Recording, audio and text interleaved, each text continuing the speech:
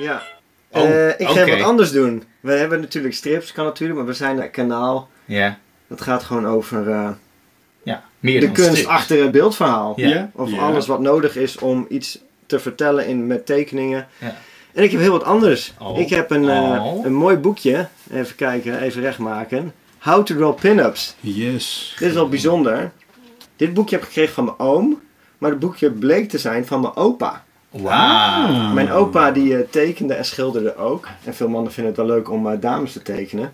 Dus dit is een boek uit eh, volgens mij de jaren 60 of zo. Oh, fantastisch. Het vrouwelijk beeld, de schoonheidsidealen, die waren toen ook nog heel anders. Dus ehm, ik denk gewoon openslaan. Oh, wacht even. Nog even terug.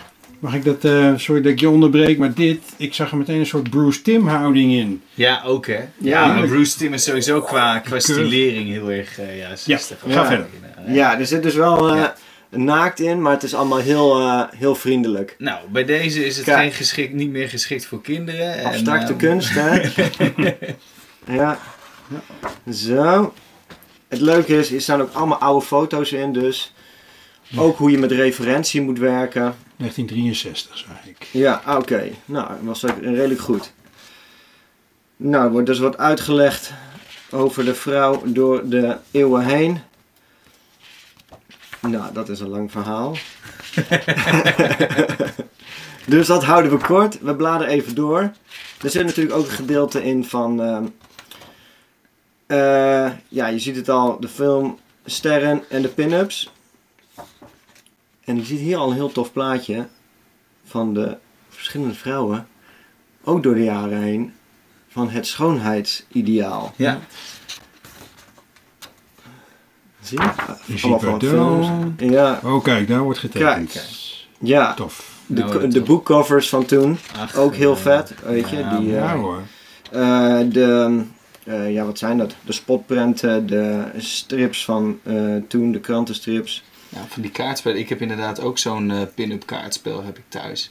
Ontzettend vet. Heel erg mooi, eh mooi uitspel. Oh, mag ik even? Het eerste wat, waar, waar ik aan, eh, aan dacht net, na Bruce Tim, was dat ik vroeger vaak oude horror pocket strips stiekem in de supermarkt aan het lezen was. Ja. Want dat was ook, er zat ook ontzettend veel erotiek in. Ja. Met, eh, ge- gemengd met, met weirde horror. ja, dat is super mooi. Eh, Zeker als oortjes. jongen is dat fantastisch. Dat is, Ja. eh, ja. Het heeft iets Ja. spannends dan. Maar ik vind het mooie van pin-up, en, want het, het heeft een beetje hetzelfde karakter als strip. Hè? Het is een beetje lowbrow altijd geweest, terwijl het wel echt ambacht is om zo'n print, eh om Ja. zo'n print neer te zetten. Zet het maar neer inderdaad. Dat vind ik Het zijn vaak super goede tekenaars. hè, Ja, weet je, die, ja. eh, de, de Madman periode. Dat Ja. waren gewoon echt gigantische eh, vaklui die Ja. dit allemaal tekenden. Zeker. Het gaat natuurlijk allemaal over de vrouwen, maar er zit natuurlijk wel een onderdeel over Tekenen. Ja, Nou ja. ook de, in de verschillende manieren hoe je een vrouw kan tekenen. Qua stijlen natuurlijk. Je moet even zoeken. Maar wat, kijk, hier komen we al bij het tekenen. En dan krijg je natuurlijk wel een beetje de standaard dingen van eh, eh, het mannequin. Maar wat het leuke is, is ook bijvoorbeeld hier. Het mag allemaal wat slanker. Of net wat eh, eleganter de houding. Nou ja. Dus dan pak je inderdaad een, een pose van fotomateriaal en dan is het inderdaad toch altijd een vertaalslag om net even nog wat... Ja, hoe je vanuit daar dus verder gaat. Ja. Nou, je ziet de gesture drawing.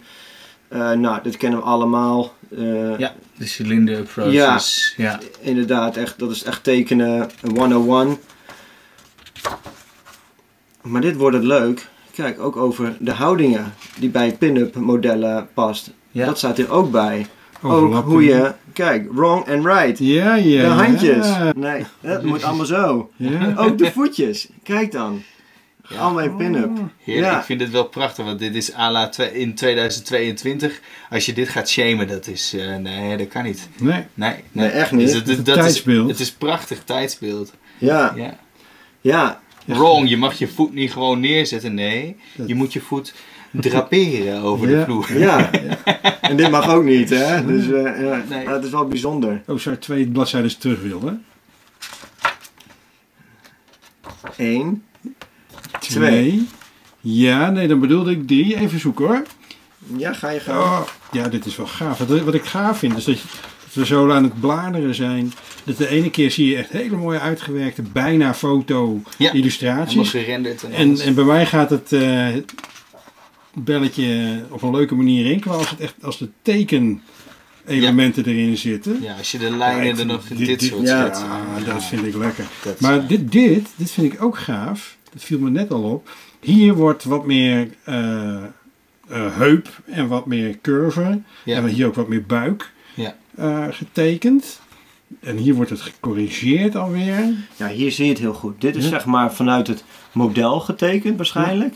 En hier gaan ze het aanpassen. Dan zie je ook bij de buik hoe ze dat anders doen. Bij de borst, ook het Ja. been en zo. Ja. En de, en de houding van de voet. Ja. Het wordt geïdealiseerd, hè? Ja. Dat, Ja. dat is wat je doet. En nog even een helemaal terug. Het Wat ik beter het zijn dan echt. van het, hier het vruchtbaarheidsbeeldje. Ja. Venus. Ook mooi getekend trouwens. Ja.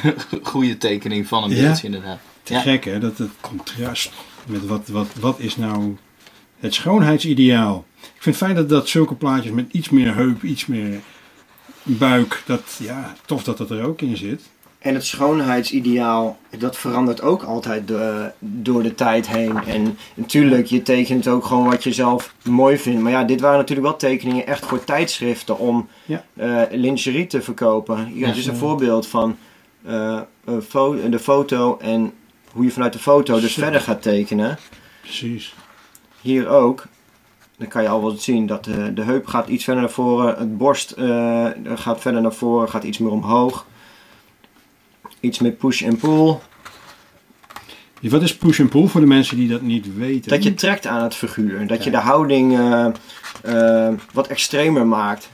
Dat je nog meer laat zien wat het, wat het eigenlijk gebeurt. Ja. Ja. Dus de overdrijving wat opzoeken en dan dynamischer. eh, Ja, wat je in animatie natuurlijk heel erg eh, veel ziet. Je ziet het hier ook heel duidelijk. Hè? Deze vooroverbeweging is vervolgens nog veel extremer gemaakt. eh, Ja. in die pose. En dan komt zo'n pose komt ook beter over als je hem iets overdrijft. Ja, en de nek wordt toegevoegd, want is het zo. En dan soms heb je natuurlijk van anatomisch zou het misschien niet eens helemaal kunnen. Nee. Maar als het je ziet deze- er wel gewoon goed uit. Als je de ruggengraat zou doortrekken, dan komt die ruggengraat zo'n beetje in haar wang terecht in plaats van bij haar nek. best zielig Ja. voor dat meisje, vind ja, ik hoor. Ja. maar niemand die daar zich aan stoort. Nee. Zie je niet. Je ziet Nee. niet. Als je het goed doet. Ik Zolang je maar blijft lachen, mevrouw. Ja. Ja, en hier nog zo'n plaatje van eh, de foto naar de tekening. Ja. En af en toe wordt het ook steeds meer strip. Soms echt het verschil tussen illustratie, bijna een modeblad illustratie eh, of een realistische tekening en strip. Dat vind ik ook leuk hoe dat verschilt in dit boek. Zeker. Ja, het is jammer dat het zwart-wit boekje is. Ja, voor die tijd natuurlijk heel veel zwart-wit. Want dus kleur, kijk, dit is ook interessant. Je had het eh, in de vorige, bij de small press had je het ook over, eh, wat is het, zippertoon, halftones. Ja. En dat wordt hier ook mee gebruikt voor reproductie. Show and use of zippertone, verschillende vormen. Kijk, staat er hier line block, als je gaat om de bikini of de, de outfit. En hier wordt dan halftone, met screenprint wordt het al. Dan zie je dat de huid ermee wordt ingevuld. En hier doen ze weer de badpak. Verschillende manieren, druktechnieken Ja, passen ze gaaf. toe op eh, de illustratie. Dat is nice. Dus ze houden daar in de illustratie al rekening mee. Dat, dit vind ik ook wel super mooi, dat je dan de lijn open houdt. Ja, Ja. Mooi dat is vet. Ja, Ja. dat is vet. Mooie details. Ja, ja, het is echt een leuk Ik boekje. hoorde mezelf zeggen, we zitten naar een hele mooie vrouw te kijken. Mooie details. Ja, precies. Wat een mooie, mooie potloodlijn. Ja, daar. die Ja, ook. Ja, ik precies. ook mooi. Dat had ik ook altijd eh, ik als mensen gingen vragen aan mij over modeltekenen. Dan had je een hele stapel met tekeningen met naakte mannen en vrouwen. En eh, zeiden ze, vind je dat niet eh, een beetje eh, gek om voor een eh, naakt iemand te staan en zo? En ik zei van, ja, als je tekent, Je ziet het niet. je ziet het niet. Je bent alleen maar bezig met helemaal vorm. anders ernaar. Ja. Ik denk, eh, ik ben altijd blij dat ik er zelf niet hoef te zitten, denk ik. Maar eh, Ja, klopt. met tekenen geen probleem. Nou, ik heb het ook altijd. eh, ik geef wel eens eh, van die workshops eh model tekenen ook. En dan eh, is het inderdaad de eerste vijf minuten is het wat onwennig. Ook zeker voor de mensen die het nog nooit eerder gedaan hebben. En dan zie je het al echt niet meer. En dan kun je gewoon echt kijken naar vorm, et cetera. En als docent ben je dan inderdaad ook gewoon dingen aan het aanwijzen. Van kijk hoe deze massa zich hier... eh, en dan, ja, soms dan ben je het haast een beetje gewoon... eh, je bent aan het objectificeren natuurlijk. Ja. Gewoon in de allerpuurste vorm ervan. Het is echt een vorm van, van ja, ja, volume, that's it. Ja, Dat ja is zeker. En de schaduw, Ja. weet je, dat, hoe dat... licht over het lijf gaat. En hoe, hoe passen jullie dit toe in je eigen tekenwerk? Neem je dit, Wouter, neem jij dit, deze kennis? Dat is interessant. Ik heb een periode gehad dat ik elk tekenboek wat ik kon krijgen van How to Draw, ging letterlijk van begin tot einde natekenen. Om gewoon meters te maken als tekenaar, dacht ik, ik ga elk plaatje die erin staat, teken ik na. En op een gegeven moment, als je zoveel dingen natekent, gaat het natuurlijk ook door je eigen filter. En niet alles blijft eh, zitten, maar kleine dingetjes wel. Bijvoorbeeld met die voeten, dan denk ik van, oh, weet je, dat is iets waar ik denk van, dat kan ik nog wel toepassen. Ja. Eh, Zo'n schoonheidsideaal, ik zei, dat verandert door de jaren. Maar het is ook wat je zelf mooi vindt om te tekenen. Ik, die buiken zo, ja, dat... Echt die zandloperfiguur, dat vind ik zelf niet altijd... eh, Nee, het is ook een beetje onrealistisch. En het is natuurlijk eh, in, in 2022 mag het ook allemaal wat realistischer qua, qua lichaam. Maar het hoeft allemaal niet meer zo perfect. En dat is dan Ja. wel grappig om te zien. eh, die vertaalslag die dan heel erg wordt gemaakt. En, eh, maar inderdaad, eh, dat soort lessen met bijvoorbeeld over houdingen en zo. Dat je een houding beter kan overdrijven dan onderdrijven als het ware. Ja, en hoe je Dat iets weer dingen. kan, wat, wat hoe je iets kan stileren. En dat is Ja. natuurlijk wel gewoon heel belangrijk. Helemaal in, in medium van strip of Ja. kunst algemeen. Is altijd weer van, wat laat je weg? Precies. Wat, wat is mooier voor het oog of wat werkt beter? En dat is de eeuwige ontdekking natuurlijk. En Ja. iedere tekenaar doet het anders. Dus daarom ben ik altijd geïnteresseerd hoe tekenaars iets doen en waarom. Wat ik wel heel vet vind is van dat hier in dit boek staan echt voorbeelden van foto en vervolgens dan de render die, eh, die zo'n tekenaar heeft gemaakt. En dan kun je inderdaad ook kijken naar welke keuzes tekenaars maken. En dat zijn wel direct keuzes die je kan kijken van, zijn dat niet keuzes die ik zelf mee kan nemen Klopt. in een, eh, in een gezicht of in een schaduw of zoiets dergelijks. Precies, en het Ja. ook gewoon het gebruik van referenties is absoluut Ja. geen schande, weet je. Dat eh, mag zeker. En, Ik denk dat dat een hele goede is van dit boek inderdaad. Van hoe gebruik je referentiemateriaal goed. ja. Dat is inderdaad wel een erg goed voorbeeld. Ja, En dan is zie je inderdaad ja, dat, er een, dat, dat je dus wel er een filter overheen moet laten gaan.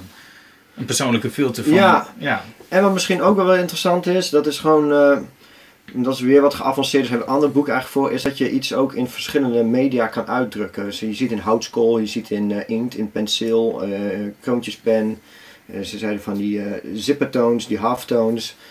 Ja, verschillende manieren hoe je een, eh, eigenlijk dezelfde tekening door verschillende technieken toe te passen, kan het een hele andere feel hebben. Ja. Dat Ja. is ook altijd heel interessant. Zeker. Klopt. Ja. Zeker. Ja, tof voorbeeld dit. Ja, Mooi. mooi. Weer even wat anders. Yes, Ja, precies. tot de volgende keer. Tot Yes. later.